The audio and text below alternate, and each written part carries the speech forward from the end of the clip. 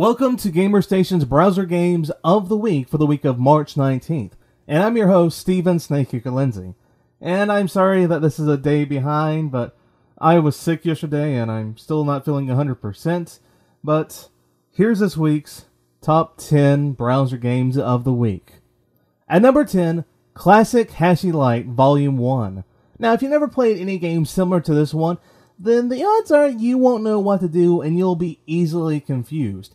But as soon as you learn the rules to the game, this game becomes really easy that really anyone should be able to do it. The rules are this. There are several numbers on the board, and what you're supposed to do is connect the lines from one number to another number, and the lines between these numbers must equal the number that's on that balloon. Now, there are multiple ways to connect from number to number, but there's only one correct way, and usually more often than not, it's easy to figure out. Number 9, Demon Room. Now, I don't think I've ever had to say this about any game that's on our list.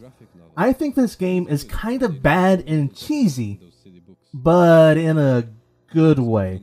Mainly this applies to the full motion videos they have at the beginning and the end of the game. You're Exorcist Joe who must exorcise a demon that someone has summoned because he thought it would help him, I guess, clean his room. Now, I'm not a professional on demons, but I don't think most demons are willing to help out humans unless there's some sacrifice or they get some item or something in return. I really don't know. But anyways, this game is the usual point and click affair, but this one is a lot more similar to kind of the Myst style of games than other ones. Now, there are three similar rooms in this game, which, when you first play it, you probably won't realize. And each of these rooms have different locations of objects, and also you have to figure out the new piano puzzle. Trust me, that piano puzzle isn't hard, as long as you watch the videos.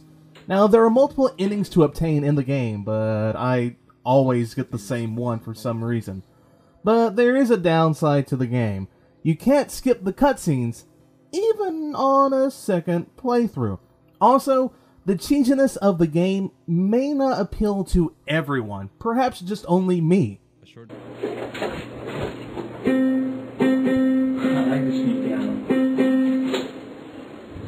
Number 8, Choo Choo Puzzles. This is a simple to learn game, and it's not similar to ChuChu Rockets in any way. What you're supposed to do is slide the red pieces to the end of the level in the fewest amount of moves.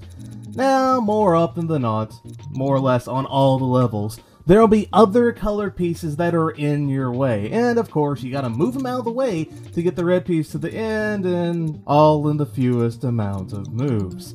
Now, this game is really fun and challenging. Unless you're like me and you suck at this game and never can really get good scores. Yeah. Now it's time to take a look at a game that we missed that we really should have recommended about two weeks ago. That game is Test Subject Blue. Now, this is a game that involves controlling a blue enzyme that has been created by scientists after his failed experiment with creating a orange enzyme. This game is a puzzle platformer, and, well, the controls for said platformer can be a little stiff or unresponsive at times, but it's not too bad that you won't be able to get through levels. There are 25 levels to get through, and though we missed it, we still recommend it. Okay, back to our list, starting at number 7, Distress Signal. Now, the story of the game involves you checking a distress signal when all of a sudden your ship is forced to crash land on a planet. The gameplay style is somewhat very similar to Metroidvania. You go from one place to find an object, then you go back to another place that you couldn't go in before, then you get a new object, and it repeats until you get to the end. But this game does have some annoying old school elements, such as enemies can shoot through walls, which should be able to be fixed in this time period, and sometimes these enemies that can shoot through said walls are tightly packed together, so it's almost impossible to not get hit by one or two of them. Also, there's an annoying instant kill element that I've found. That's this barrier right here.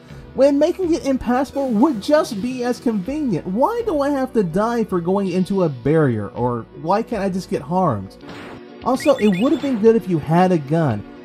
Especially considering that some enemies can fire from a distance, or the only way to really even hit them is if you do have a gun, so why couldn't this just been in the game?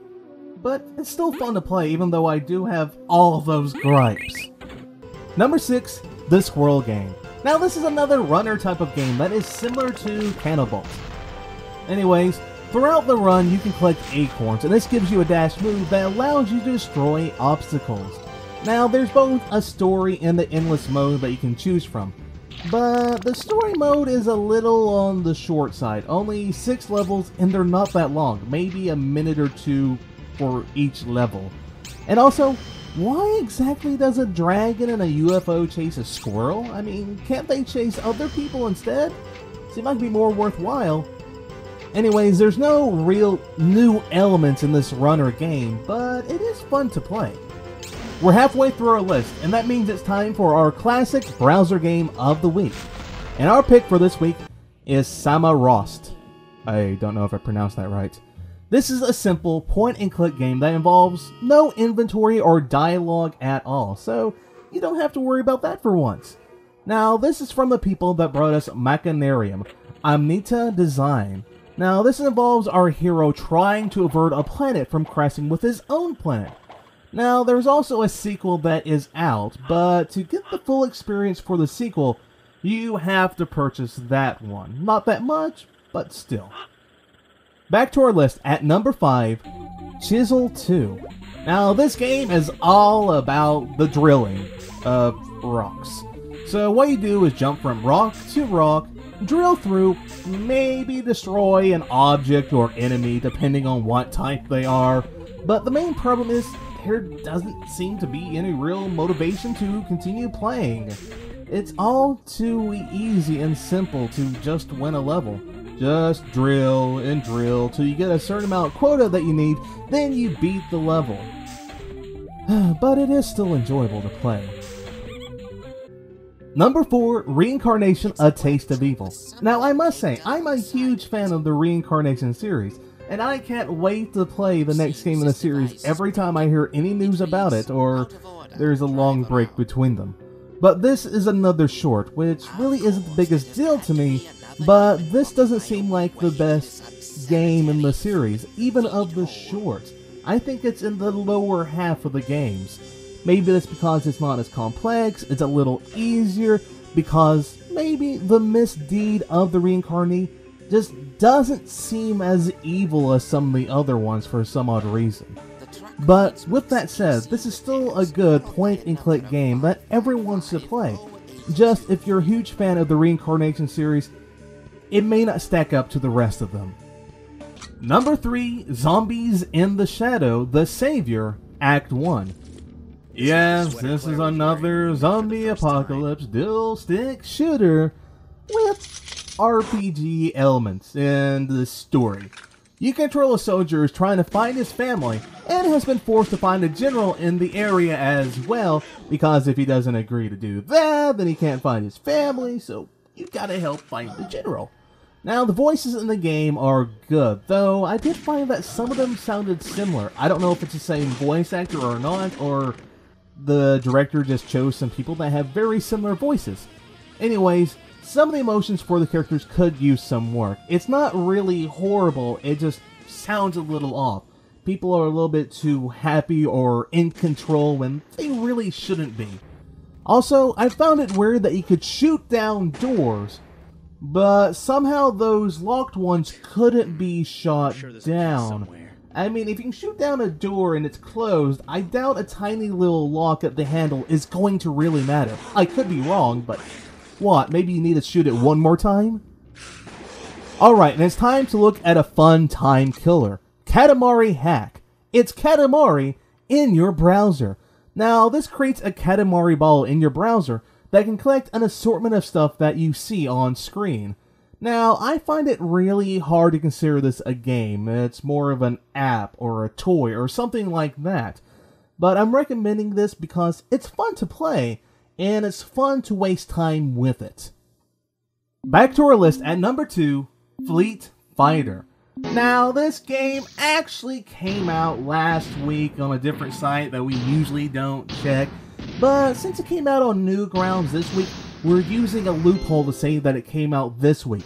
as in saying that we're liars. This is an online multiplayer battleship game that features power-ups and unlockable characters as well. And this game feels surprisingly faster than most normal battleship games. Maybe because you have to shoot in a quicker amount of time, maybe because usually after you fire, they fire, then you fire, and it's a quick back and forth, it's more of a shooting type game than a strategy game. Or maybe it has something to do with those power-ups as I mentioned earlier. But this game is surprisingly quite addictive and fun, especially for a battleship game. And the only real reason you probably won't like this game is if you really don't like Battleship at all. And our number one browser game of the week for this week is Cardboard Box Assembler. So after a hard day of boxing boxes, our hero has snapped, and he now thinks he's inside of a box and it's a puzzle game. Now this involves some clever little puzzles that involve your character moving around a cube to get to objectives. I know that may not sound all that clever or anything, but when the gravity of those cubes change depending on where you enter and exit, then it becomes a little more thought-provoking, and some of these can be really quite challenging and hard to figure out. Anyways, during some of these levels you can collect gems, which will unlock some bonus levels which are, of course, harder than the normal ones. On the negative side though, some collision with certain collectible objects may be a tad bit off, but it really wasn't all that bad. And with that, this week's Browser Games of the Week list comes to an end. Now, if you don't know, each and every Sunday, outside of rare occurrences like this week, we'll have a new Browser Game of the Week video up. And also on Wednesdays, we have our GamerzStation Indie Game News, which is where we tell you about some of the latest happenings in the indie game world. So subscribe to us to be up to date on all of our videos.